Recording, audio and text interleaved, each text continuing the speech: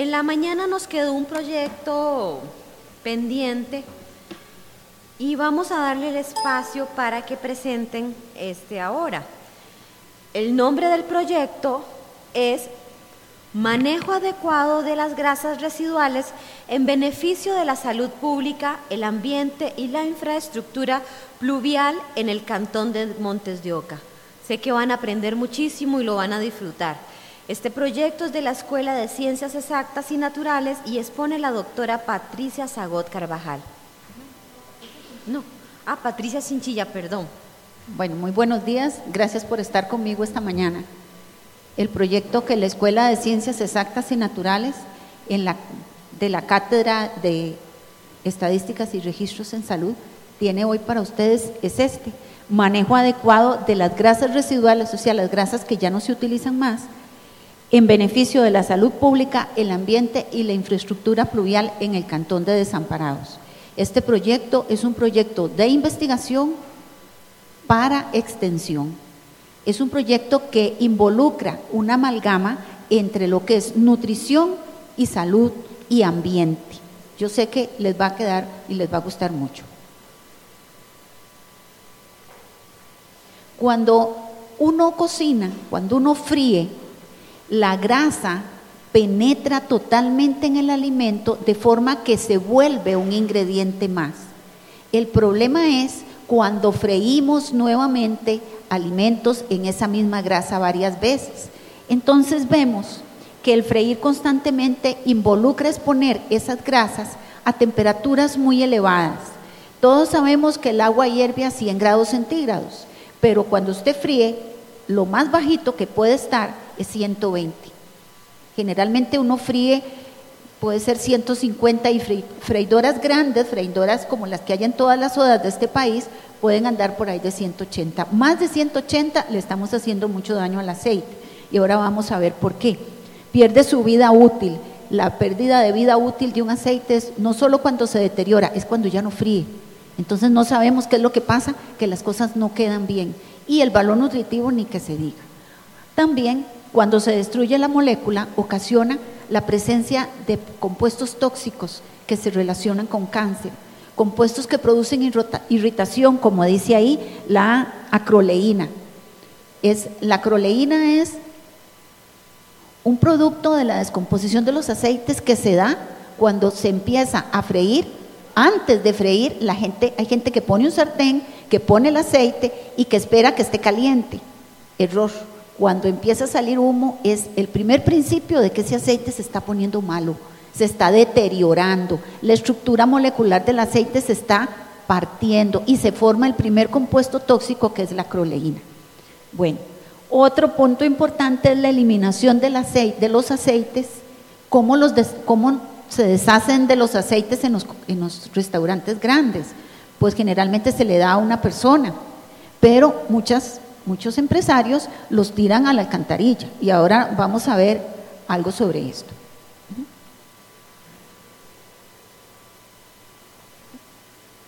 Bueno, las grasas residuales resulta que son enemigas de tres, de nuestro ambiente, porque le hace daño al agua, lo vamos a ver más adelante. La grasa forma una capa que impide que los rayitos del sol entren, que los pececitos coman, elimina oxígeno, le hace daño todo lo que es el ecosistema. Por cada litro de aceite, como este que van a ver, está esparcido en un río, mil litros de agua son afectados le hace daño a nuestra salud. Si usted quiere comer grasas como nutricionista, quiere comer algo frito, está bien, pero lo más, lo más, dos veces por semana. Ahí les dejo la tarea de cuántas comen ustedes por semana. La idea es que sean dos, a los una, dos. El problema es que comemos, digamos una, o comemos dos, pero lo hacemos con una mala utilización de la grasa para nosotros y para el medio ambiente. Y ni qué decirle lo que le hace las, las, grasas residuales a las cañerías. Tremendos. Forma tapones, eh, hace inundaciones, en fin, muchas cosas.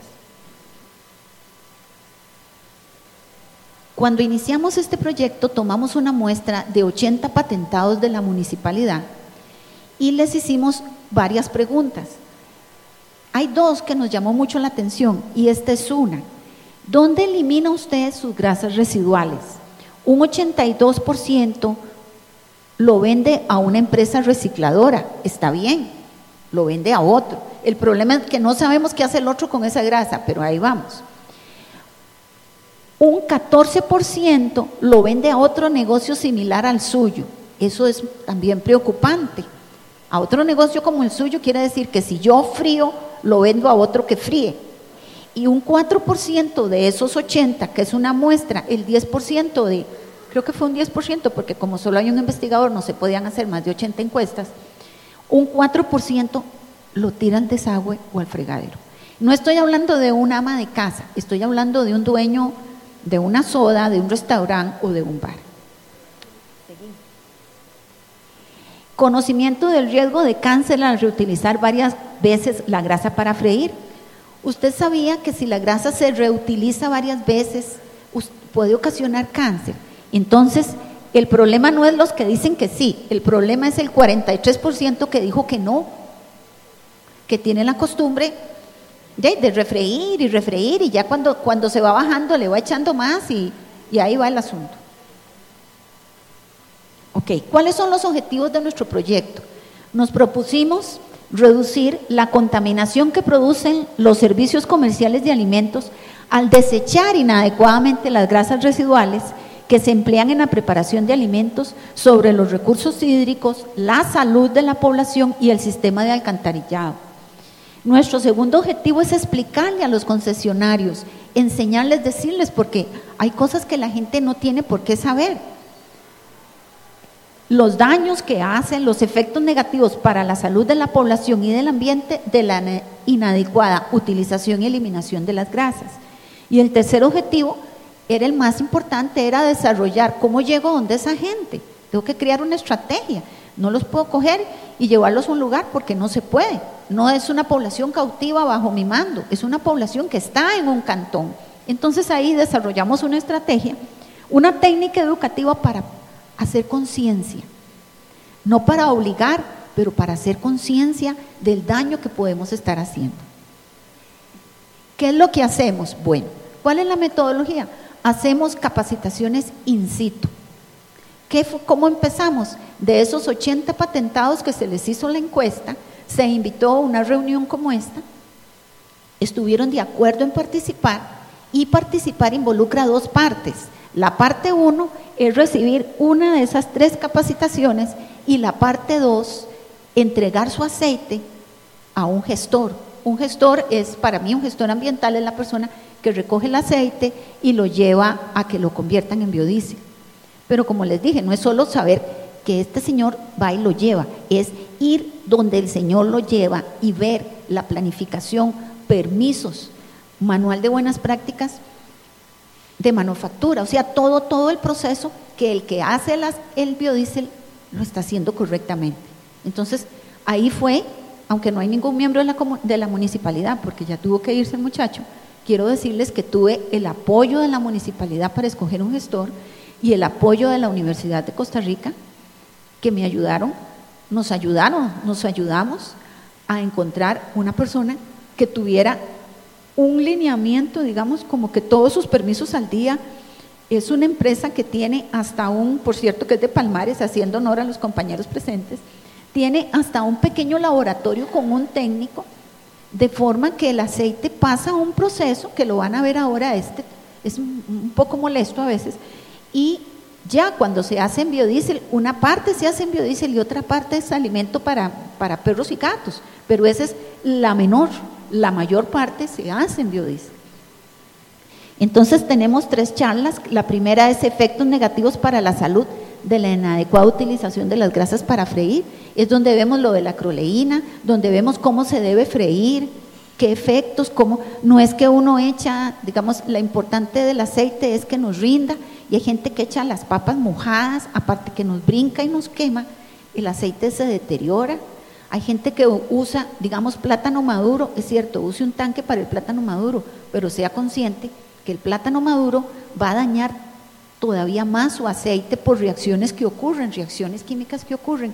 Entonces, tenga solo un, un ¿cómo es? un tanque solo para un alimento y otro tanque para otro alimento, pero no revuelva. Y tampoco los, los freidores se dejan en la noche para limpiarnos mañana. No, no, no, terrible. Segundo, una forma de freír, la forma correcta de freír es la segunda capacitación y en la tercera nos valemos del reglamento de sodas de los servicios de alimentación al público del Ministerio de Salud, donde vienen algunos puntos sobre fritura. Entonces nos valemos de eso y nos valemos, digamos, un poco de mi experiencia para hablar de disposición y organización de cocina, que a veces uno acomoda las cosas de la manera que cree que debe ser y siempre hay una forma más correcta y más sana para todos. La segunda parte es el gestor, el muchacho recoge el aceite. Ustedes pueden ver ahí, dice, el gestor recoge los aceites y grasas y reporta la entrega. Ahora les voy a decir cuántos litros hemos recogido. Que la, reporta que la entrega sea similar al ejemplo 1, 2 o 3. El ejemplo 1 son aceites, aunque ustedes no lo crean, de muchos bares. Porque los bares usan, algunos bares, no todos, usan el aceite hoy y lo eliminan hoy porque su, fuerte es tener clientes muy frecuentes y que los, productos sepan bien. Es el uno. El hecho de que sea el uno, que ustedes lo vean tan blanquito, no quiere decir que no tenga hidroperóxidos ni sustancias este, este, dañinas. El 2 es una mezcla entre aceite y manteca, que es el asiento blanco que ven abajo. No es que esté mal, pero digamos que no es lo correcto desde el punto de vista económico para la persona que maneja los aceites, o sea, para el que fríe, para el dueño del negocio, porque los aceites tienen diferentes puntos de humeo y la manteca es muy fuerte, tiene un punto muy, muy alto. Y ahí, si le echamos aceite, entonces el aceite tiene un punto más bajo, entonces ligerito sale el humito, entonces ya se empieza a deteriorar. Bueno, el 2. El 3 es un aceite que ya se ha reciclado bastante, pero que era ya su momento de eliminarlo. Por cierto, ayer que fui por el Mall San Pedro, pasé por una venta de churros y ese era el número 3, el aceite que había. No les digo dónde vi los churros. Y el número 4 y el número 5 es parte de la charla, de la segunda charla, la forma correcta de freír. Hay que filtrar. Les explico, en ellos soy un poco a veces necia, hay que filtrar el aceite todos los días. Podemos filtrar con un colador, podemos filtrar con un velito, pero filtren para que todas las sustancias chiquiticas, chiquiticas que quedan ahí, que deterioran el aceite, le cambian el color, se eliminen y el aceite les rinda un poquito más. Bueno, pues nuestro gestor, aquí tenemos una muestra de las cosas que ese muchacho recibe y por supuesto que el 4 y el 5 hay gente que hay que trabajar un poquito más. Aquí los vemos desde otro ángulo, por si acaso no habían dudas. El número 5, esa pasta que ustedes ven, es un aceite que se usó, que se usó, que se usó y que se usó ya no sé cuántas veces y por dicha ya está fuera de circulación. Ah, bueno. Aquí es un ejemplo de, una, de la primera capacitación que di en las sodas de la universidad. Este es de nuestros compañeros de la UNED quiero hacer el anuncito, los compañeros de la UNED este, han llevado dos capacitaciones, he hablado bastante con ellos. Aquí estoy, como les dije, sencito. Yo no puedo cargar a los lugares donde voy un retroproyector y una computadora, porque hay lugares que me atienden perfectamente a las 5 de la tarde, juntan toda la gente y ustedes su charla y llega usted a un lugar incómodo, no hay donde enchuflar, no, no hay nada. Entonces, la forma más práctica está ahí en el stand, son unas tarjetas así grandes, con letra así. Como son poquitas personas, estamos hablando de grupitos pequeños, vean cómo es. Me siento y vamos viendo parte, hoja por hoja. Entonces, la gente se siente más accesible a mí, me preguntan, yo contesto, todos nos ayudamos. ¿Qué beneficios tiene este proyecto? Bueno, Vamos a ver unos cuantos. Este proyecto es beneficioso para la salud pública porque propone acciones educativas y correctivas. Por eso el, el, reglamento de sodas, de restaurantes, de sodas, de servicios de alimentación, puede ser mi herramienta para seguir haciendo pequeños módulos de, para recordarle a la gente sus buenas prácticas de manufactura, de buenas prácticas de manipulación de alimentos, inclusive con los aceites, de acciones educativas y correctivas para eliminar el consumo de grasas deterioradas.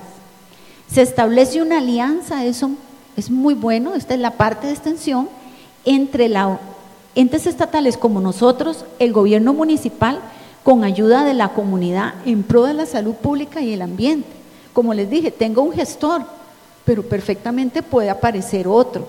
Y la idea es darle asesoramiento para que en realidad las grasas se eliminen correctamente, no se las dé a los chanchos, que es muy común, o no las den para cualquier otra cosa que no sea biodiesel.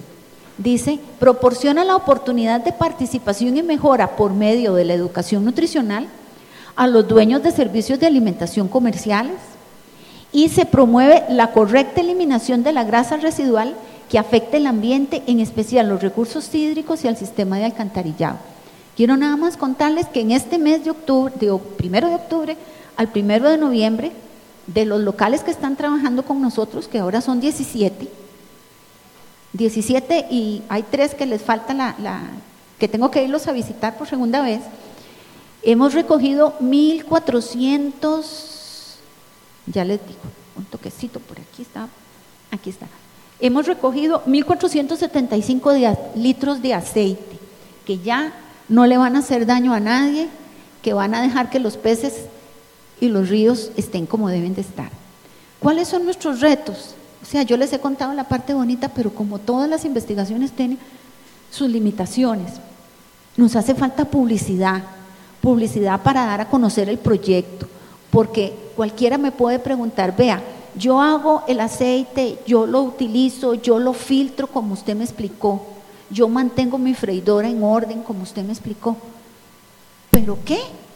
El de a la par, la tira al caño, no le pasa nada. Entonces, lo que hay que hacer es dar a conocer que el que está con nosotros está bien, está, está bien en el sentido de que está haciendo un buen uso de la grasa residual y que es un lugar donde se puede ir a comer. Por eso, muy modestamente, hicimos este afiche. Le digo que es modesto porque es precioso, no le podemos quitar, es lindo, pero es chiquito, pero no importa. muy pronto varios negocios donde ustedes vean esto es gente donde ya tienen una educación al respecto sobre el uso correcto de las grasas residuales. Nos falta presupuesto, necesitamos comprar equipo, necesito comprar un aparato para medir si voy a un local, es un termómetro destaca, hace falta, hace falta comprar ese aparatito para medir hidroperóxidos, porque siempre está la duda, no crean que no, que usted puede llegar a un lugar y el aceite está como el número 3 y hay gente que cuestiona si lo tengo o no tengo que votar.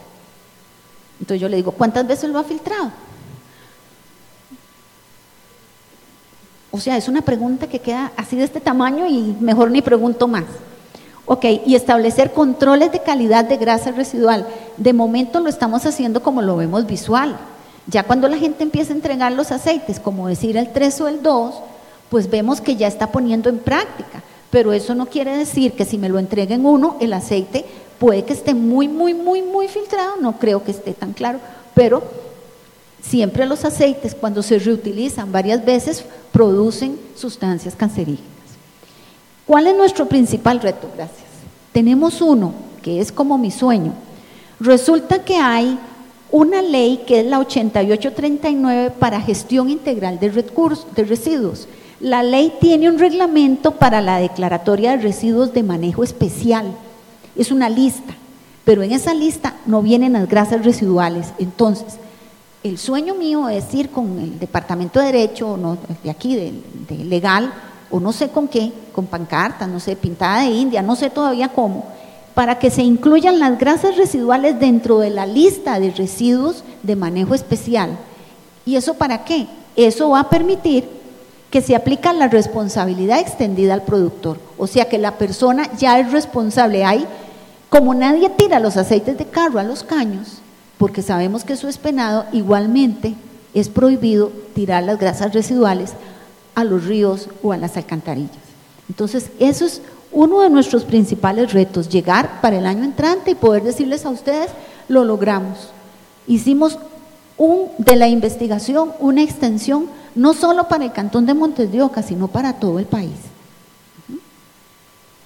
¿Qué, proyecciones tenemos hasta el futuro? Bueno, desarrollar proyectos en barrios, digamos Montes de Oca es un cantón muy organizado, podemos desarrollarlo en barriecitos, organizarnos entre la municipalidad y nosotros para que la gente encontrar un gestor que les recoja, que pase a los barrios, encontrar centros de acopio. Integrar otras universidades, claro que sí, integrar centros académicos y organizar un estudio similar en cualquiera de los otros centros académicos en los que estamos trabajando. Y establecer, eso es importante, pero eso necesitamos, necesitamos trabajar desde otro ángulo, establecer tarifas diferenciadas para los negocios que participen, no por cantidad, sino por calidad. Porque puede que la señora de la esquina que hace empanadas esté dando una pichinga de un galón cada semana. Ustedes dicen, eso es un montón. Pero otro, un restaurante, dice, Ay, es que como es un restaurante da un montón, tal vez da una pichinguita por mes. No sé si me estoy explicando, no lo podemos hacer por cantidad, tendríamos que hacerlo por calidad. Y para determinar calidad necesitamos hacer como estudios, necesito apoyo, ya no es solo de la disciplina de nutrición y salud ambiental, sino de estadísticos, de, no sé, de, de otros profesionales que nos ayuden a poder establecer, por decir, ese tarifario, esa forma, para que las personas cuando paguen sus impuestos, aunque sean se les rebajen 500 pesos, pero sea como sea, es un estímulo. Y aquí, como les dije, esto es para terminar, verterlo o reciclarlo. Un litro de aceite contamina mil litros de agua. Ya nosotros sacamos 1475 de circulación. Entonces ya hay muchos miles de litros de agua más limpios. ¿Dónde se puede utilizar el aceite sucio? Para hacer biodiesel, pinturas, inclusive para hacer este ya eso lleva un procedimiento, compostelas para, para abono. Eso es todo, compañeros, y muchas gracias.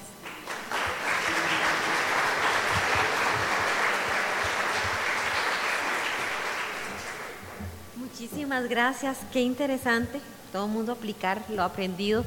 Doña Yelena le va a dar un certificado de participación por su valioso aporte a esta jornada institucional.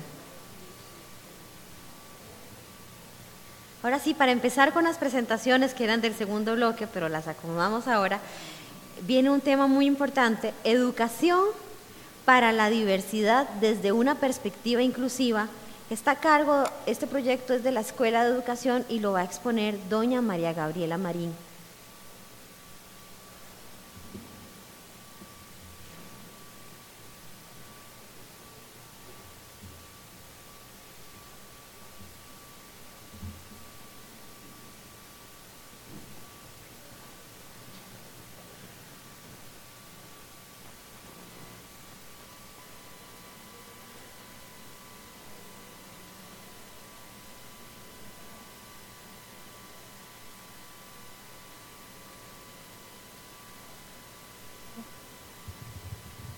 Muy buenos días. Eh, ante todo, un agradecimiento por estos minutitos que nos van a permitir compartir un poquito de lo que hacemos al interior de la Cátedra de Educación Especial. Bueno, como todos nosotros sabemos, eh, a partir de la década de los años 90 se han dado una serie de cambios importantes eh, en el mundo que han traído consigo una serie de transformaciones y eh, de desigualdades e inequidades, sobre todo en la parte social. Estos cambios han impactado de manera importante el sistema educativo, trayendo consigo una serie de eh, exclusiones, en especial a todas aquellas poblaciones que se consideran vulnerables. Eh, en este sentido, entonces, tenemos que los sistemas educativos han asumido precisamente esa carga de desigualdad y nosotros también a la vez somos corresponsables de eh, brindar las condiciones para poder incluir a todas, precisamente a todas esas poblaciones dentro de un marco eh, equitativo de educación. Precisamente entonces nos encontramos con eh, que ese sistema educativo requiere a su vez de un recurso humano altamente capacitado que pueda atender de la manera más equitativa posible a las diferentes poblaciones que va a tener inmersas dentro de sus, dentro de sus aulas. Sin embargo, eh, la realidad nos lleva a enfrentarnos con una dimensión totalmente diferente del asunto. Y es aquí donde nos encontramos que la mayoría de las instituciones educativas no están listas para asumir precisamente esa atención a la diversidad y para poder ofrecer los apoyos pedagógicos que la población así lo requiere. Entonces, ante esto eh, nos planteamos la urgencia de un personal, de capacitar personal docente con, eh, con formación en la temática. Es así como surge precisamente la idea de eh, formalizar la iniciativa a través de un curso que llamamos Educación para la Diversidad. Eh, ante todo, con la, con la particular intención de quitarnos o de, de quitarnos de la mente eh, la idea de que la atención a la diversidad iba dirigida específicamente para las poblaciones con discapacidad, que se refería solamente a las poblaciones con discapacidad y de que esas poblaciones eran competencia solamente de los profesionales en el campo de la educación especial. Entonces queríamos derribar esa serie de... Eh, de prejuicios y de ideas en torno al asunto. En este curso que nos planteamos, hemos procurado confrontar elementos teóricos con la práctica que se, eh, precisa, que se presenta en las, en las aulas. Y decidimos diseñarlo entonces utilizando la plataforma que la universidad tenía, entonces hacerlo de una manera híbrida. Siempre procuramos que la primera sesión sea de manera presencial y posteriormente hemos trabajado el curso a través de la, de la plataforma Moodle. Eh, en la plataforma tenemos foros de discusión a donde se ventilan una serie de situaciones que tienen que ver con casos particulares de la, de la cotidianidad. Tenemos el correo electrónico, los chats para generar eh, discusiones académicas a donde se, se ponen sobre el tapete una serie de inquietudes en torno a la temática se aclaran dudas y hay una selección de materiales que han sido cuidadosamente eh, seleccionados eh, en torno a la temática que tienen que ver con eh, materiales impresos, con audiovisuales y con todo esto, en procura también de lograr una sensibilidad, lograr desarrollar una sensibilidad en los participantes. Eh, tenemos que el participante es el protagonista de su proceso de aprendizaje y el tutor es solamente el facilitador. Las personas que se inscriben en el curso lo hacen de manera totalmente voluntaria, nadie está obligado y eso nos ha generado una serie de, resultados muy importantes porque al hacerlo de manera voluntaria eh, logramos precisamente casi un 100% de éxito. Son seis módulos semanales y cada módulo tiene su respectiva agenda de trabajo. El curso, cuando decidimos iniciarlo, lo hicimos con profesores de secundaria del área de las ciencias, eh, en conjunto con profesores de educación especial, procurando trabajar en equipo.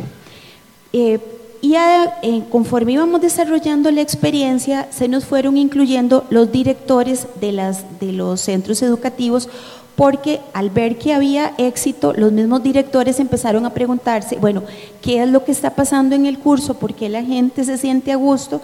Entonces ellos decidieron también incluirse en esto. Eh, algo muy importante fueron los equipos de trabajo que se lograron consolidar entre la gente del área de educación especial y los profesores de, secundaria del área de ciencias. porque como todos sabemos en educación secundaria es menos la formación que se da en lo referente a la atención a la diversidad. Entonces necesitábamos dotar a todo ese profesorado de ayudas técnicas, de formación en lo que tenía que ver con las adecuaciones curriculares, de los apoyos y de todas las estrategias que se podían desarrollar al interior del aula para poder atender a la diversidad de poblaciones que tenían. Iniciamos eh, esta experiencia en ciencias con población de Puriscal, de Mora, Turrubares y dos reservas indígenas que atiende la Dirección Regional Educativa. Esto fue, muy, fue una experiencia muy interesante eh, y también requirió muchísima creatividad por parte del, facilitador, pues había que ir adaptando los módulos precisamente a toda la diversidad de profesores que, que teníamos dentro del, del curso. Posteriormente lo ofrecimos, empezó, como decimos, a regarse la bola, entonces empezaron a solicitarnos de otras instancias la iniciativa. Entonces llegó gente del Liceo Francisco Orlis en Sarchi, ellos nos lo solicitaron eh, y en este liceo asistían participantes que provenían de Punta Arenas, de Bagaces, Coto, Alajuela, Cartago, Heredia y San José. Luego, eh, muchos docentes de educación preescolar también empezaron a solicitarnos el curso y finalmente los académicos, los mismos académicos de la Escuela de Educación también nos solicitaron la iniciativa, entonces empezamos a desarrollarlo eh, haciendo las diversas adaptaciones. Eh, bueno, estos fueron los objetivos que nos propusimos, que sobre todo tenían que ver con desarrollar una actitud positiva hacia la diversidad del alumnado.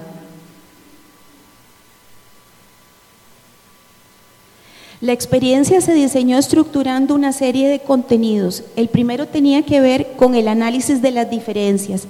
Y aquí lo que queríamos era sensibilizar a todas las personas y hacerles ver que todos somos diversos, todos somos distintos y todos requerimos una serie de apoyos y de ajustes diferentes a lo largo de la vida.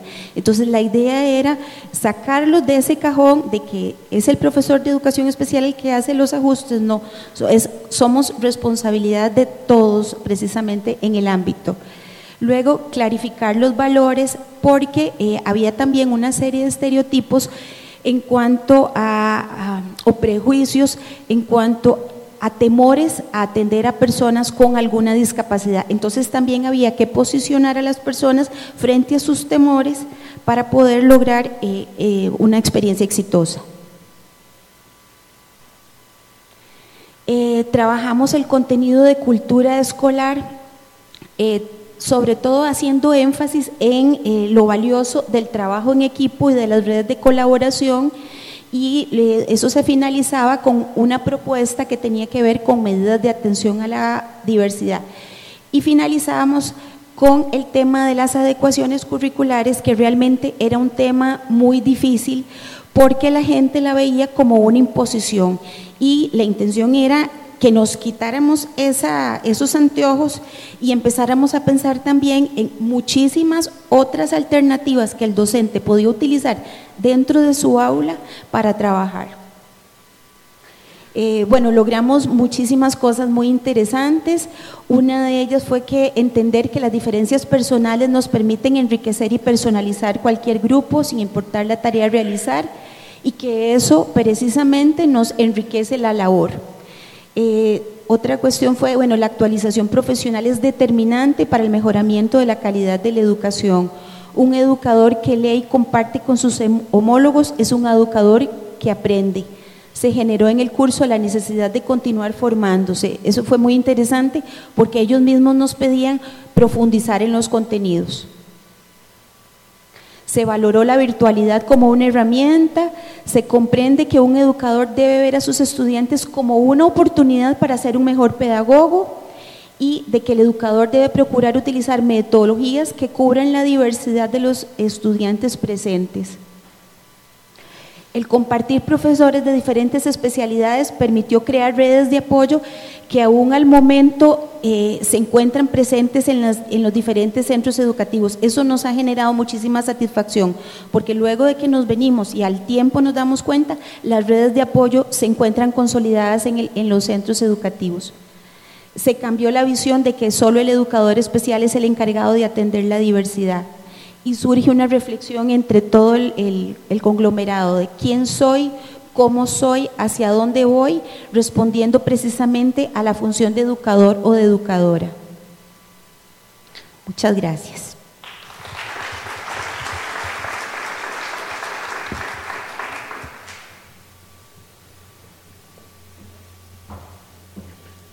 Muchísimas gracias y doña Yelena hará entrega de un certificado de participación.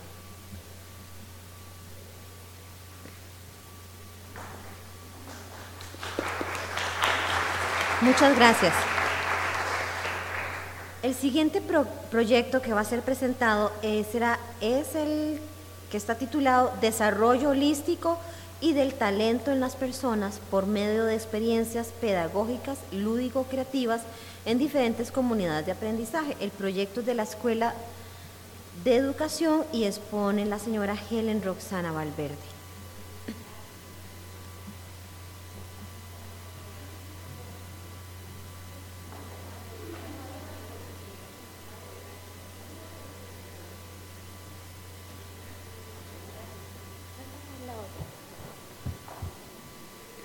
Buenos días. Eh, Ustedes se pueden pasar para acá, si son tan amables, para este lado. Es que están ahí muy solitos. Vengan aquí a este lado. Muchas gracias. Bueno, yo eh, vengo a contarles sobre el proyecto taller de lúdico, del aprendizaje lúdico porque ayer tomé unas citas aquí. Gracias, Yelena. La chola dijo, la tendencia a no olvidar. Y lo que se disfruta no se olvida. Después la comunicadora eh, dijo, la extensión hace que el mundo cambie que el mundo mejore. Entonces, este proyecto está tratando de que el mundo mejore, que cambiemos, que hagamos las cosas con más gusto, con más alegría. Luego la chola volvió a decir, no hay mejor forma de que algo se quede grabado, son palabras de ella textuales, que lo que le gusta, que hacer lo que le gusta, ¿verdad? Entonces, la actividad lúdica, tratamos de que, de que de aprender de una manera que nos guste. No es de niños, es, es de todo, es de todos los seres humanos, todos, porque bien lo dijo el doctor Sam Crowell que vino a hacer un trabajo para, para, taller, para lúdicos este año, las emociones están en las células. Y entonces tenemos que tratar de mover el cuerpo y eh, disfrutarlo para que esas emociones salgan y se reproduzcan. Bien, y como este, este, este proyecto es lúdico, yo no me voy a quedar solo con venir a hablarles aquí. Este, y yo quiero que ah, eh, nos liberemos de la de a veces que somos tan, tan rígidos, ¿verdad? Pero y yo los quiero invitar a disfrutar de, lo siguiente. Vamos a disfrutar de una canción. Todos y todas. No, no, quiere decir que no lo voy a hacer porque voy a hacer, yo soy así, yo así soy más. Sí, no, no, vamos a disfrutarlo un ratito. Nada perdemos, más ganamos, más ganamos. Ok, vean, yo la voy a cantar una vez, después ustedes cantan conmigo. Es así.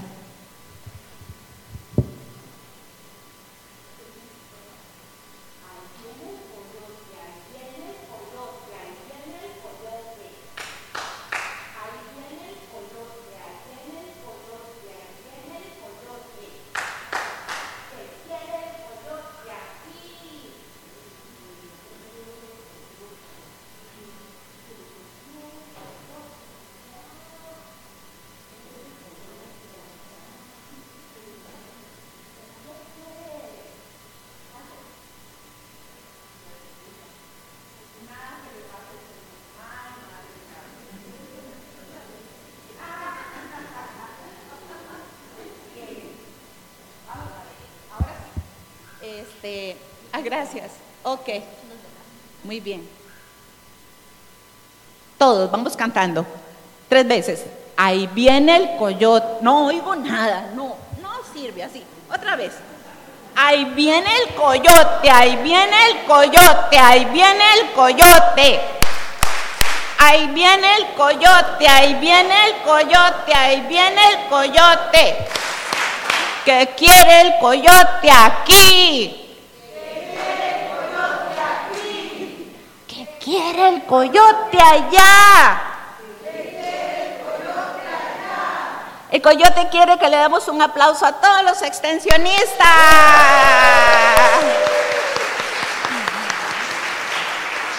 Y ahora, el coyote quiere que toquemos la espalda del compañero que está a la par o la compañera. Podemos tocarla así con los dedos. Sí, pero creo que van a tener que acercarse más. ¿Cómo así? ¿Cómo así? Así todos. Claro, porque vamos a hacer un masaje que dice así. Este era un gusanito. Vamos haciendo el gusanito en la espalda. Vamos, vuelvan el cuerpo. Allá veo dos hombres, chicas. A ver, dos hombres que no están haciendo el, el cuento. Acérquense, no tengan temor. Acuérdense que estamos en época de, cambio, de procesos de cambio. No, este, así. Voy a hacerlo aquí. Aquí tengo un árbol muy grande y aquí va un gusanito subiendo. Vamos a ver, subiendo. Que el compañero sienta el masaje y la cosquillilla subiendo iba buscando hojas para comer. ¡Ay, qué rico huelen estas hojas! Es un delicioso árbol de cas. Se encontró un cas muy maduro, qué grande es. Le hacemos otro movimiento. Qué grande es. Los compañeros no teman acercarse, todos somos seres humanos. Y el gusanito metió su cabeza ahí. ¡Uh, sí! Esa guayaba está deliciosa. Comió y comió y comió y quedó con una gran barrigota. Y salió del casi bajó del árbol. Vamos a dejarlo ahí. ¿No? Ah, bueno, ok. Bueno, estos son formas lúdicas en que nosotros podemos disfrutar. Eso es lúdico. Todo lo que podamos disfrutar, todo lo que podamos hacer con las manos, todo lo que parece obvio, pero que no es obvio. Alguien decía hoy, eh, fue Alonso, eh, parece que es normal, pero no, hay que, hay que destacarlo, hay que decirlo, hay que evidenciarlo. Entonces de eso se trata los talleres lúdicos. Y bueno, les voy a contar un poco de, qué se trata eh, el aprendizaje lúdico, que ya tiene como siete años de existir. Y, gracias a que es, un proyecto interinstitucional. Eh, mi jefe, doña Yarid, este, ella le encanta los talleres lúdicos y en la escuela hemos realizado, en el Día del Niño, realizamos un taller lúdico, ahora les voy a enseñar una fotografía. ¿Por qué en el Día del Niño? Porque, porque necesitamos tomar en cuenta a los niños en todas las carreras. Los niños y las niñas tienen que estar presentes en todas las carreras, sus derechos tienen que estar en todas las carreras. Eso, eso se los digo porque también pertenezco a un grupo del PANI que está tratando de, de, incluir eh, a todas las universidades en todo lo que podamos hacer. Y entonces ahí él llega el tecnológico y llega la Facultad de Arquitectura de la UCR porque puede ayudar con la construcción de las eh, en asesorar con la construcción o cómo hacer una plataforma, cómo hacer... Todos podemos aportar en algo. Entonces, eso, esa parte es, muy, muy importante. Bueno, a ver, porque ahorita me van a decir que ya no tengo tiempo y no he empezado. Muy bien. Em, bueno, esos son los las integrantes. Podemos pasar. Nuestro objetivo general es fortalecer los vínculos entre las diferentes universidades, todo lo que hagamos que tiene que ver con actividad lúdica, con aprendizaje lúdico, hasta el TEC, que no tiene carreras de educación, eh, lo está incluyendo en lo que es este, eh, las carreras de las ingenierías. Bueno, entonces eso es nuestro objetivo general para, para ahora, este, potenciar el desarrollo holístico y los talentos, porque todas las personas tenemos talentos, es que a veces nos, nos quedamos como muy tratando de, tal vez nos han dicho que no, no podemos hacerlo, tal vez nos han dicho que qué feo lo que hicimos en algún momento de nuestra infancia. ¿Quién no ha vivido una situación así?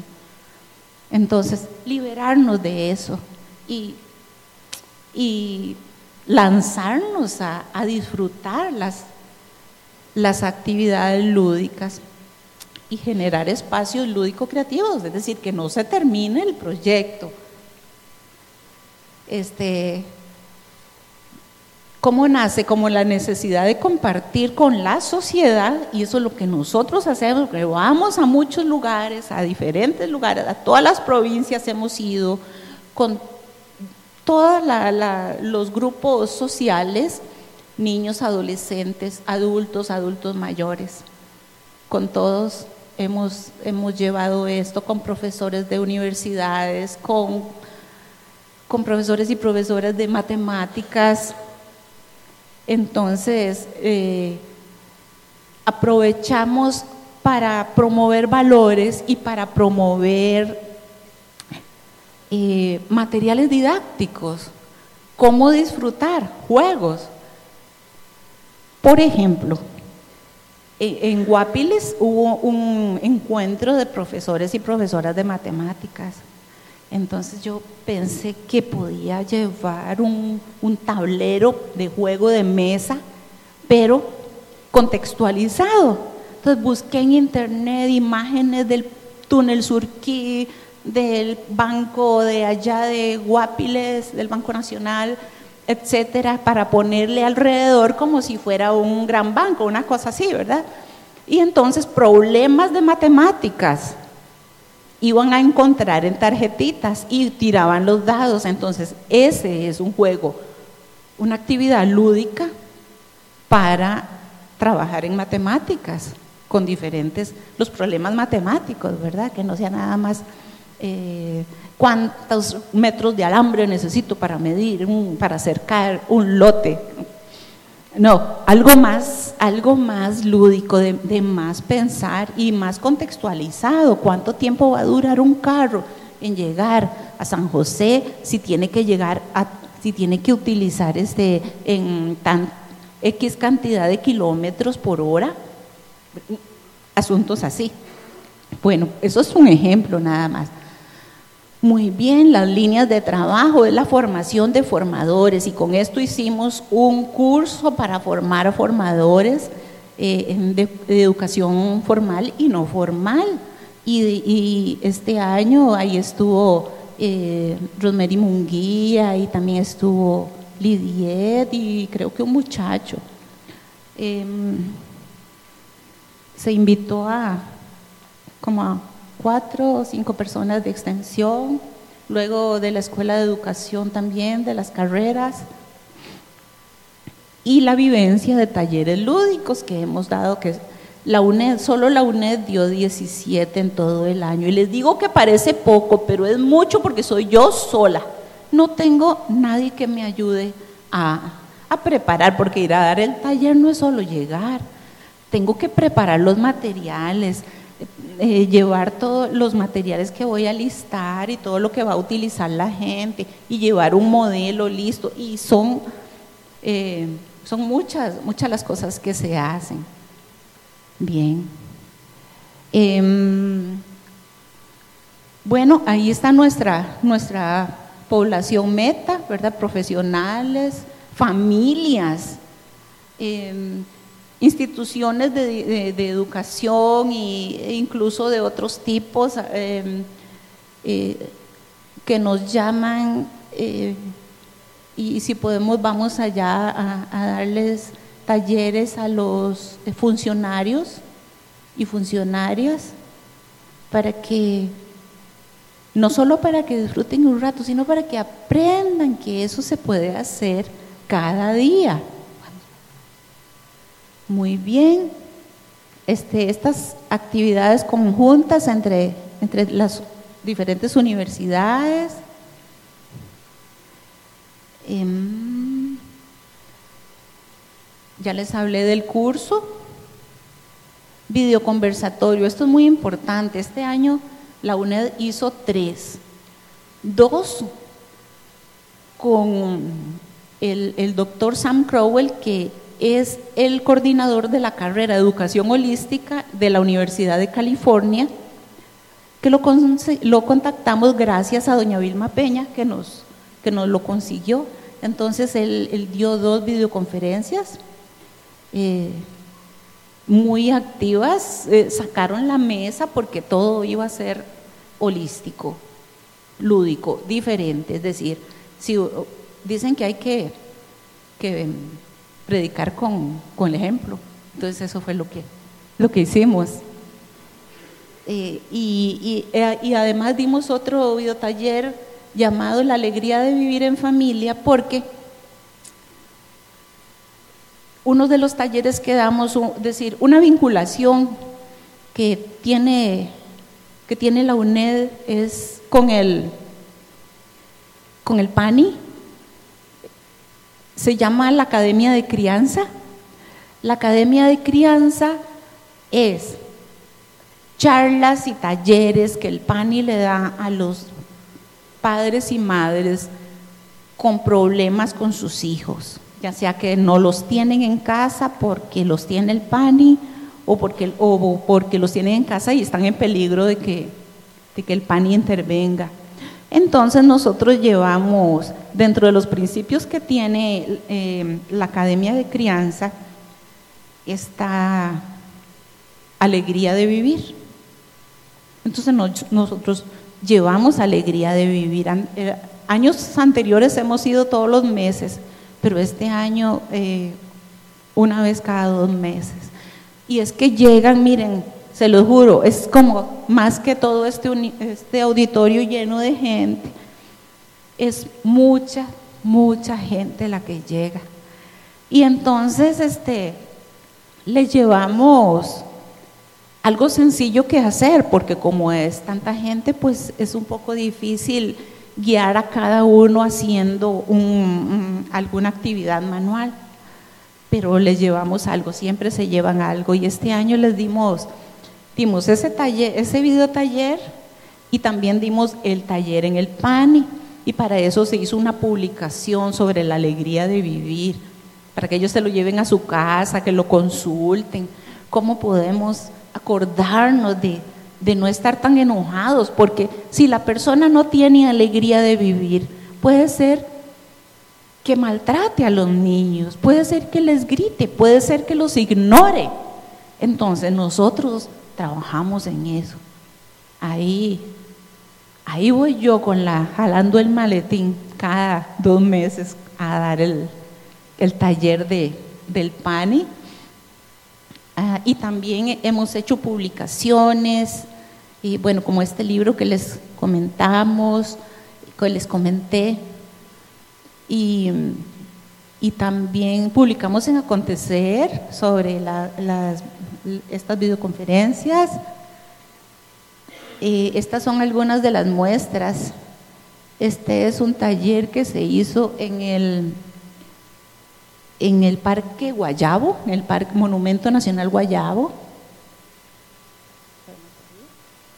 Este es una capacitación para, adult, para personas adultas.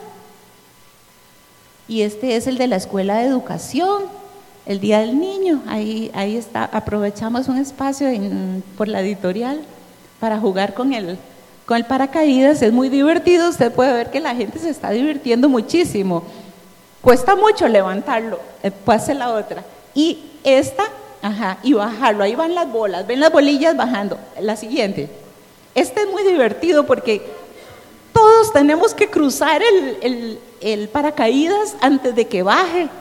Entonces todos vamos gritando. Los hombres no se animaron a esto. Yo pienso que poco a poco van aprendiendo, ¿verdad? Pero ahí vean, vean este, si pudieran ver las caras, la gente va divertida, porque tiene que cruzar antes de que le caiga el paracaídas. Sí, y, y nos, nos divertimos mucho un ratito, pero ahí pasaban algunas personas y nos dijeron que como que estábamos perdiendo el tiempo. Sí. Eh, bueno, estas son algunas de las vinculaciones, el, centro del PANI, la biblioteca central de la UNED, que estamos tratando de hacer un, espacio infantil ahí para que, para que cuando las madres llegan, los niños puedan tener acceso a, a, algo como un espacio lúdico. Sí. Ya tenemos un mural, si se asoman ya, ya lo verán ahí, aquí en la biblioteca. Claro, ellas no tienen tiempo para atender a los niños y eso, pero, pero bueno, algo se va haciendo, algo se va haciendo, por lo menos se refleja el, las intenciones, ¿verdad? La buena intención. Sí, el Parque Nacional Guayabo y... Em, bueno, ahí ustedes pueden, pueden ir leyendo los resultados obtenidos. Pasemos al siguiente porque son, son muchos. Este, involucramos estudiantes, el, trabajo de tesis también, y, libros que se ¡ah! y, libros que, que, he podido escribir aquí tienen actividades lúdicas y también se está escribiendo una unidad didáctica sobre la actividad lúdica Mm, bueno, tenemos los vínculos, tenemos el curso, tenemos el videotaller. Ah, bueno, esos videotalleres que les dije que había dado el doctor Sam Crowell fueron internacionales porque se conectó con, con el Caribe, un lugar que se llama una zona de conflicto armado donde habían como 30 educadores y educadoras conectados, este, participando. Em, los talleres temáticos, que son montones de temas, y ya no me dio tiempo de enseñarles cosas que hemos hecho. ¿Ustedes se acuerdan de, de un juego que se hace con, con una manila? ¿Usted se acuerda? ¿Sí? No, pero vieran que esto yo lo llevo a, diferentes partes y la gente se, minuto más, y la, y la gente se acuerda, le sale de su inconsciente. el recuerdo de cómo era que se hacía. Han hecho una, una figura que se llama el catre, que es complejísima. Aquí la compañera Ilse Gutiérrez se acordaba de cuando jugaba con sus hermanos y hizo el puente, que también es complejo. Yo medio sé hacer la pata de gallo. ¿Usted sabe hacer la pata de gallo?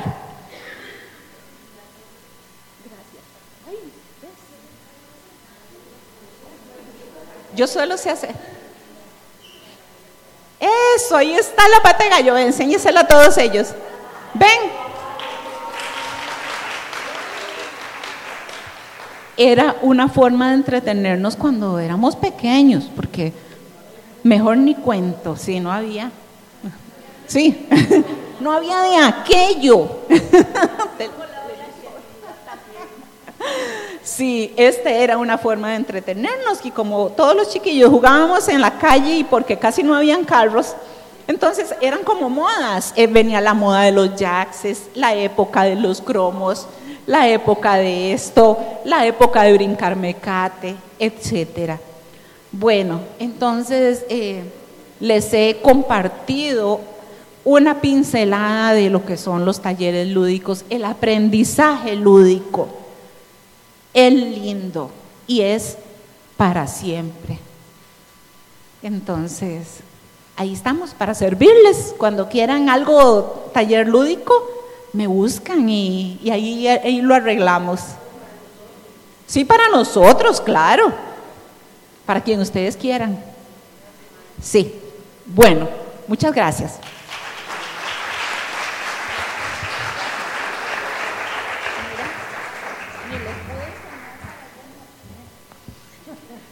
Muchísimas gracias, doña Helen. Y para honrar su participación, doña Yelena le hace entrega de un certificado. Muchas gracias. Para continuar tenemos el proyecto Mejorando el aprendizaje de la matemática en el segundo ciclo de la educación general básica. Ese es un proyecto de la Escuela de Ciencias Exactas y Naturales y lo expone la señora Estíbalis Rojas Quesada. Muchas gracias. Bueno, primero que nada, buenos días. Este, es un placer estar compartiendo con ustedes el día de hoy el proyecto de, lo llamamos de primaria en matemática, ¿verdad? Como para resumir el nombre porque es un poquito largo. En mi equipo de trabajo, este, habemos inicialmente tres personas. Eh, Marilyn Méndez, que ella funge como asistente en el programa. Eh, Jeffrey Barrantes, que es uno de los coordinadores del proyecto, y esa servidora, Estivario Rojas. Ok, el proyecto pertenece al programa de enseñanza de la matemática. Este proyecto se basa en dos líneas específicas. La primera son proyectos de capacitación de docentes de primaria. Más que todo nos enfocamos en esa área por el tipo del proyecto. Y la otra es que son talleres de actualización utilizando una metodología dual, es decir, presencial y a distancia. Eh, la última vez que logramos desarrollar este proyecto se hizo en el CITET, se desarrolló 2013-2014 y Marilyn, bueno, también nos estuvo contribuyendo ahí y el tipo de financiamiento que nosotros tenemos es por medio de patrocinio, porque hacemos donación de materiales estructurados para que los docentes cuenten con material concreto a la hora de desarrollar temas de matemática.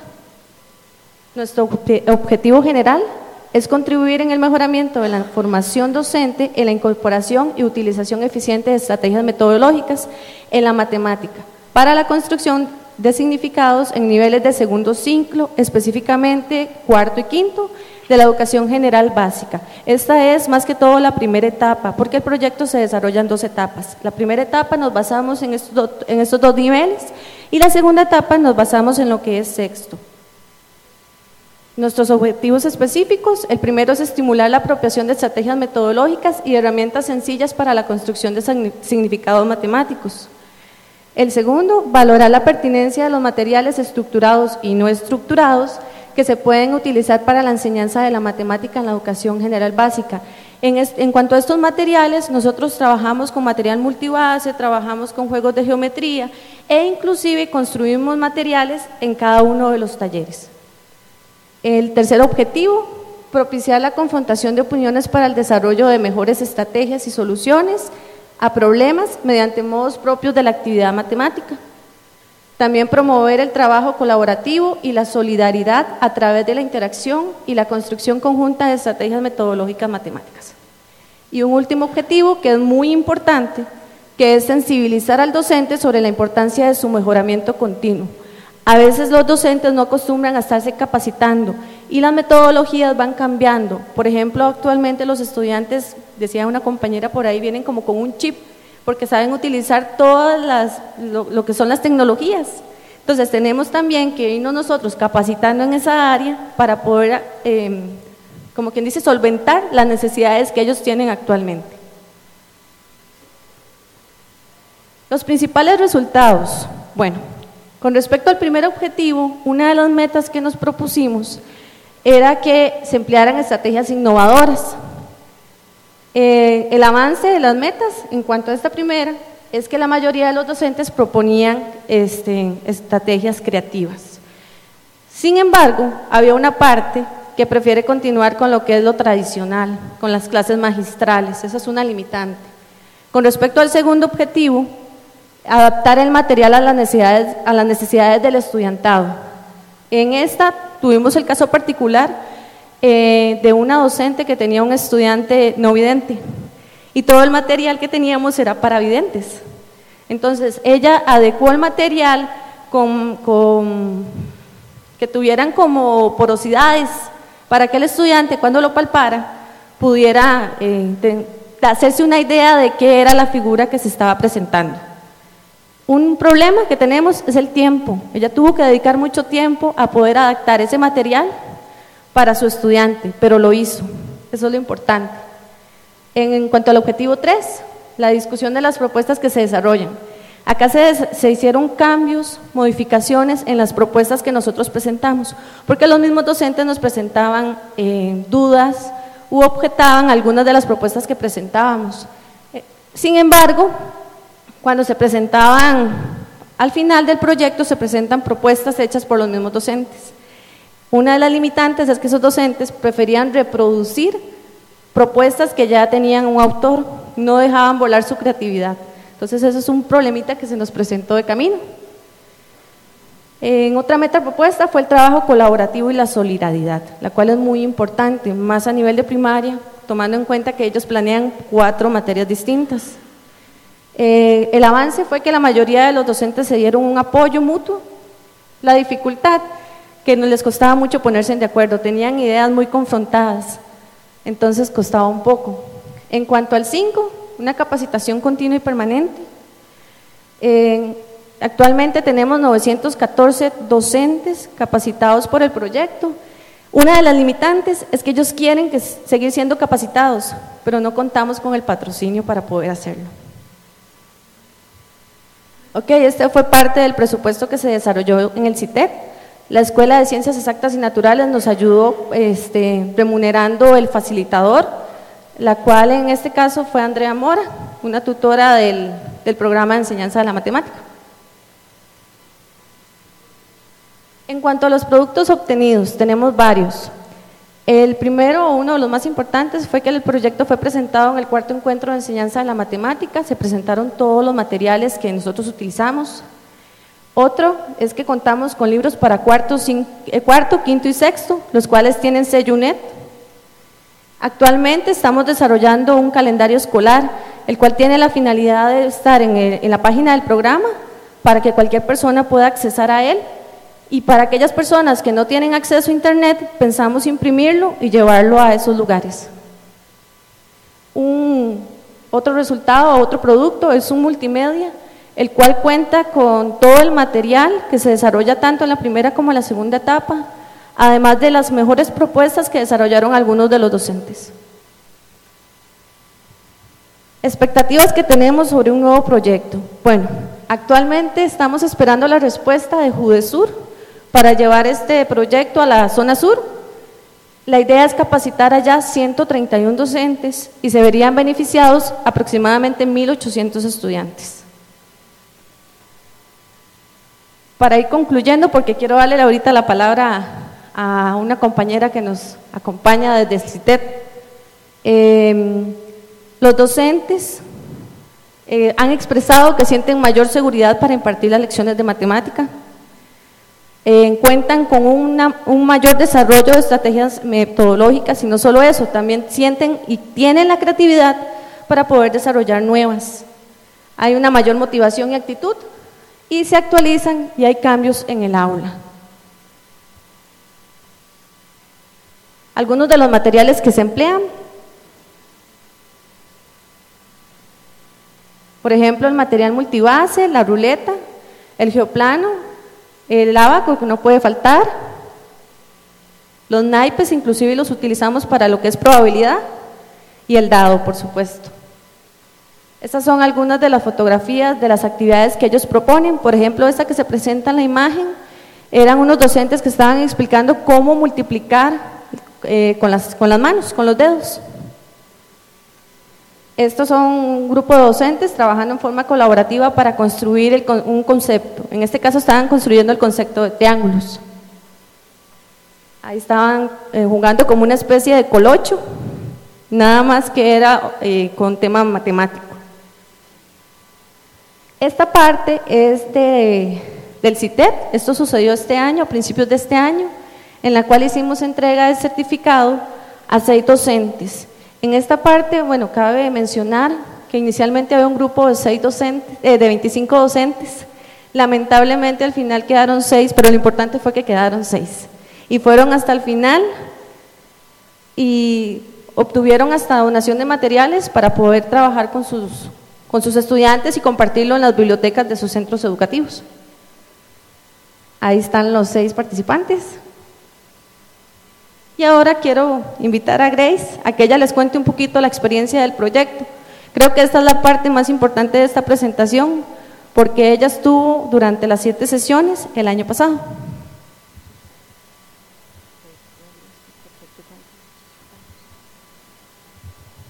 Buenas, eh, ya es mediodía creo. Eh, es un gusto estar aquí. Mi nombre es Grace Chacón, vengo de San Carlos, Santa Clara. Para los que conocen por el lado, trabajo también en la Escuela Los Ángeles de la Fortuna. Recibimos el curso en La Perla, también de la Fortuna, eh, donde se encuentra una sede de la UNED y quiero compartir con ustedes esta experiencia. Le contaba a Estivales que cuando yo estaba en el colegio, uh, ¿verdad?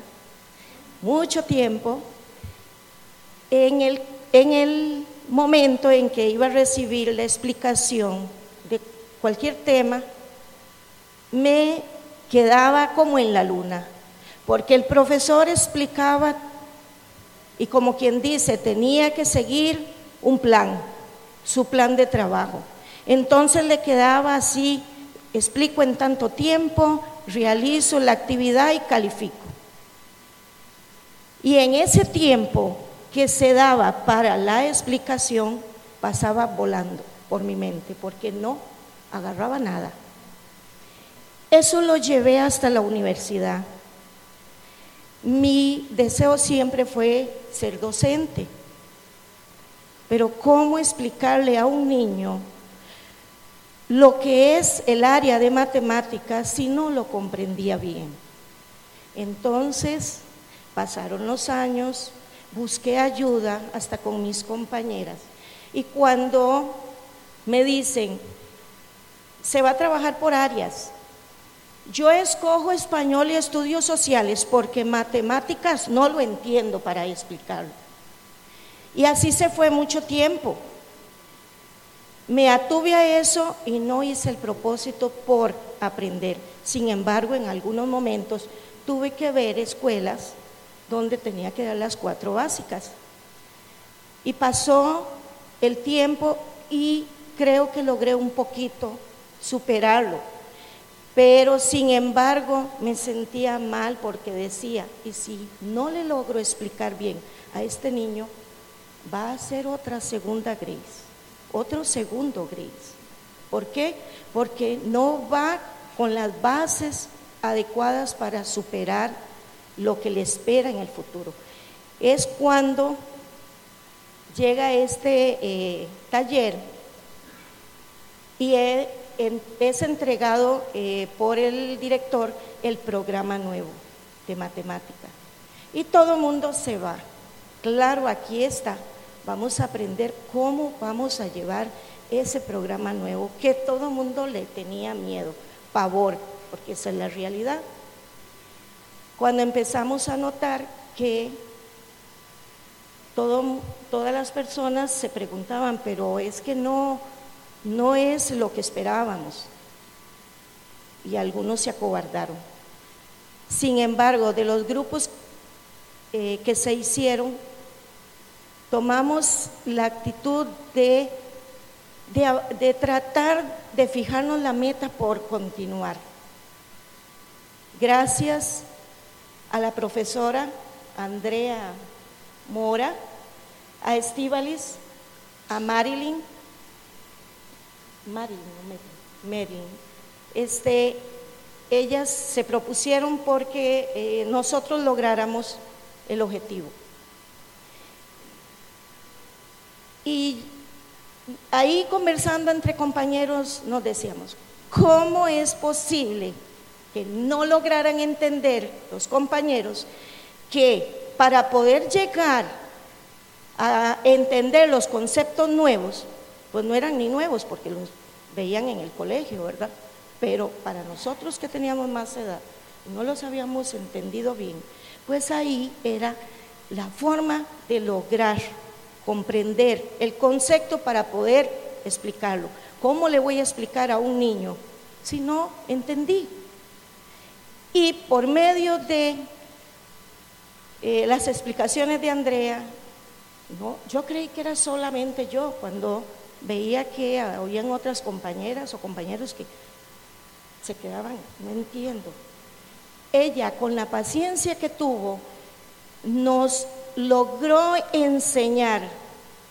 Y no más que eso, cada vez que veo un niño con ciertas lagunitas por ahí, me acuerdo de Andrea y me devuelvo. Venga, papito, yo le voy a volver a explicar. Le explico de manera lenta, le explico tomando todo lo que hay a mi alrededor, para que él logre aterrizar con su momento, su espacio. Esto es lo que él va a aprender para la vida. ¿Qué es lo que necesitamos en ese momento? Tener claro lo que nosotros queremos aprender para poder llegar a ellos. Tenía ayer una niña, una alumna, y me dice, eh, niña, ¿para dónde va? yo mañana, como no había clase, voy a, la universidad este, de la UNED para eh, hacer una una conversación pequeña sobre el resultado de, de la matemática con ustedes. Pero yo quisiera como que ustedes me dijeran si aprendieron, porque me encanta, me encanta verlos, que ellos me digan que, entienden. Niña, lléveme y yo lo explico. Lléveme, porque el director me dijo, no se pueden sacar niños. No me atreví, pero ella me decía, Niña, usted recuerda al principio, porque yo, por no eh, tener la fuerza de voluntad de decir, voy a tomar la matemática como área este año, no lo hacía. Español y estudios sociales, porque era para mí más fácil.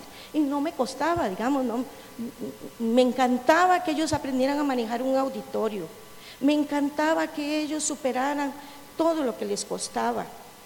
Pero yo no me atrevía a tomar el área de matemática.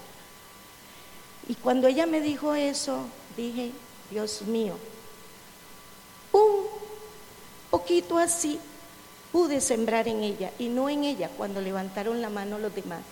Yo también quiero ir. O sea, ellos querían que contratáramos un bus para que ellos vinieran a contar acá. Y me gustaría que Estíbales fuera y les preguntara, lo que estoy diciendo es cierto.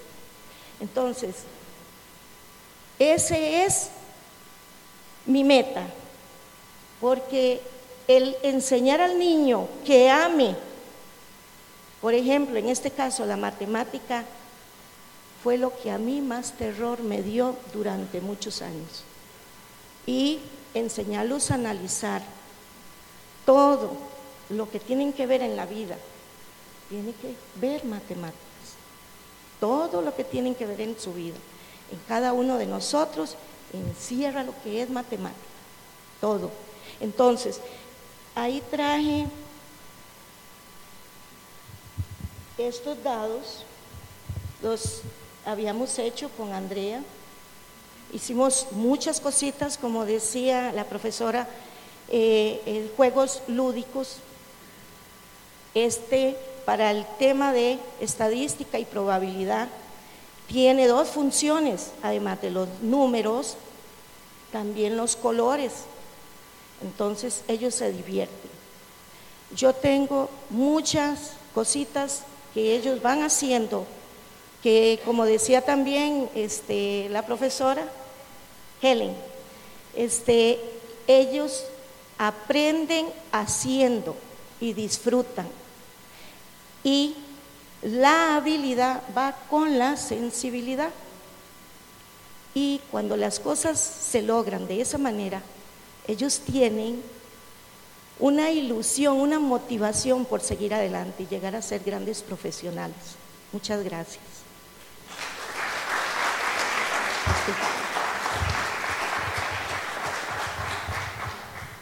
Bueno, este, en agradecer a Grace y les dejé a ella casi la mayor parte de la presentación porque qué mejor que ella, que fue parte del proyecto, para exponer la experiencia. Muchas gracias a todos.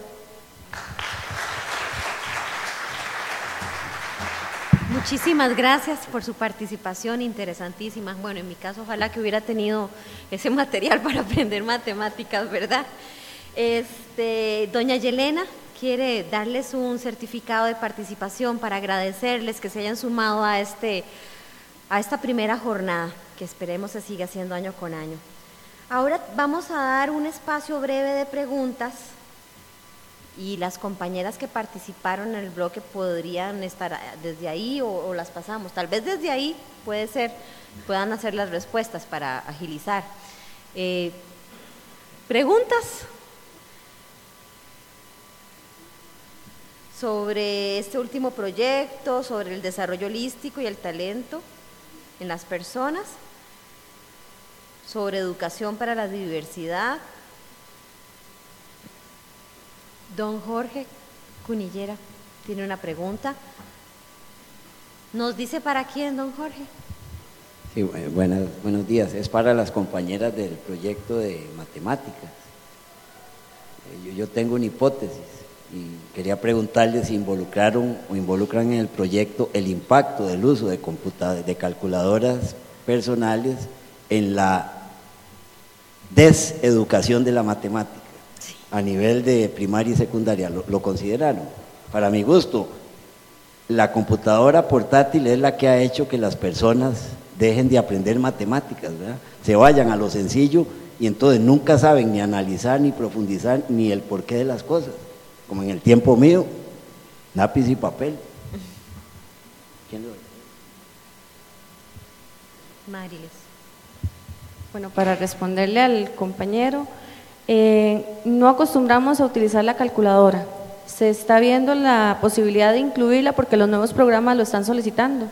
De hecho, los, algunos de los compañeros que se retiraron fue por ese motivo, porque no estábamos empleando la calculadora pero sí se está viendo la posibilidad de incluirla porque hay que ver la calculadora no como el método que me va a dar la respuesta, sino como una herramienta más que nos va a ayudar a obtener la respuesta, no como actualmente se utiliza, por ejemplo, en secundaria. Hay estudiantes que lo utilizan para obtener todas las respuestas en un examen y no razonan cada uno de los procedimientos. Entonces, sí, la respuesta sería, de momento no la estamos usando.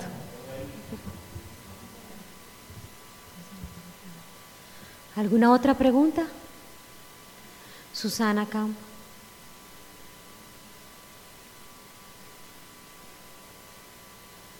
Bueno, yo primero quiero felicitar a las compañeras de los cuatro proyectos, todos súper, súper interesantes. Me gustaría como hacerle una pregunta a la, que, a la compañera que dio la exposición sobre el manejo adecuado de las grasas. Eh, y es que sí, dentro del proceso que ha hecho aquí en esta zona de San Pedro, tuvo la oportunidad de visitar eh, lugares como McDonald's, Burger King y todo eso y saber cómo, cuál fue el resultado del, manejo de las grasas en esa, en, esa, en esa zona. No estoy segura si lo dijo al inicio porque llegué cuando ya había arrancado la, su, su participación. Entonces, si lo dijo, pido disculpas, pero sí me gustaría saberlo y a la compañera que eh, mostró el de educación para la diversidad. Eh, me gustaría preguntarle, aprovechando que el micrófono, eh, vi en la presentación que trabajaba, que se, se vincularon en el, en el proceso profesores o directores de escuelas de territorios indígenas. ¿Cómo la temática tiene que ver justamente con el tema de la inclusión? Quiero saber si dentro de la metodología que usaron propiciaron este diálogo eh, intercultural o se manejó algún tipo de técnica diferente para trabajar con ellos o cuál fue más o menos como la estrategia que se usó para trabajar eh, con, con esta población. Muchas gracias. Gracias.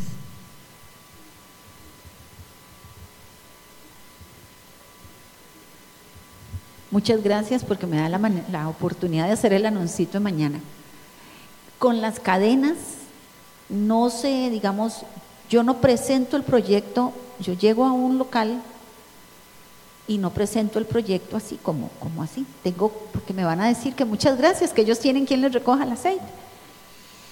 Estoy en esta semana, mañana voy, mañana se hace la de Mol San Pedro, ahí hay varias cadenas, entre ellas Spoon que están interesados, pero posiblemente porque la administración del mall les mandó una carta formal invitándolos a la actividad.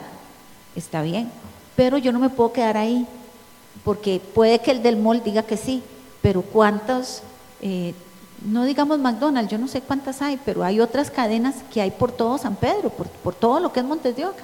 Entonces, mi idea es ir al proveedor general, o sea, la persona o el departamento de capacitación y exponerle el proyecto. Pero ahí habría que hacerle a la modificación porque es cierto, ellos, yo creo que aprenderíamos uno del otro. ¿Cuánto tardan las papas en freírse? Porque tienen que, ellos tienen su control de calidad. Entonces, esa grasa posiblemente esté a mayor temperatura. Ellos sí deben de tener un termostato. Es que muchas de las sodas, la, la, la freidora está directa. ¡Fling! Ya. ¿En cuánto está? Ah, yo no sé. Pero más o menos qué temperatura toma. Dice, Ay, yo pongo así y ya está.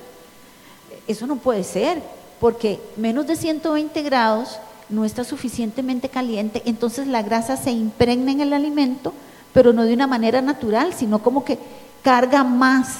Entonces son productos más pesados en grasa y eso es lo que nos comemos. Aunque usted lo escurra, absorbió más.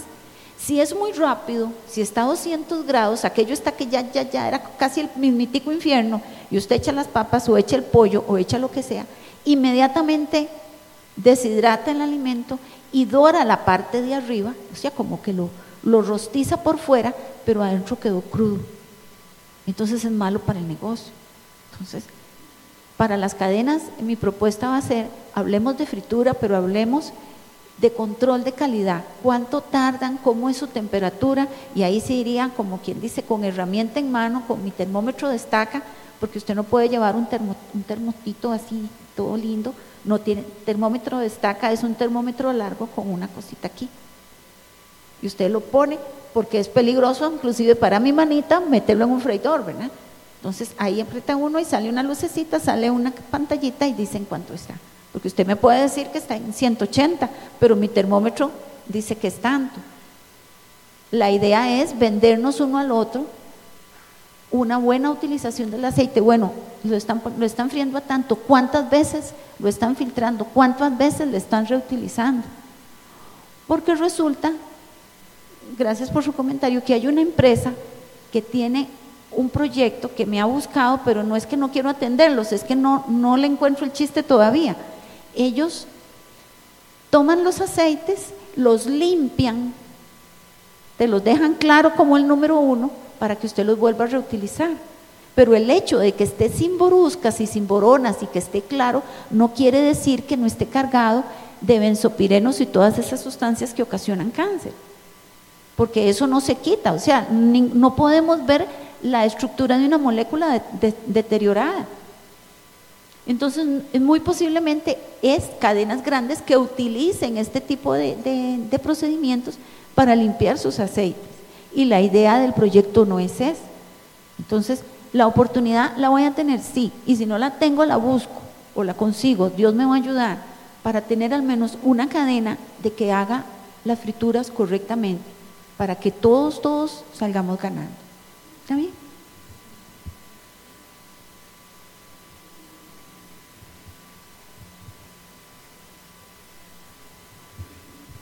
Eh, precisamente eh, uno de los lugares con los que trabajamos fue con Zapatona.